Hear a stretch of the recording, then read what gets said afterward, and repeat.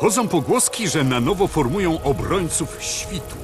Łowców, wampirów czy coś takiego. Czym może ci pomóc skromna służka Talosa?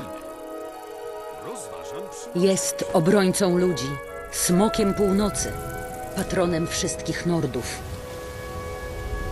Niech cię Talos błogosławi, moje dziecko.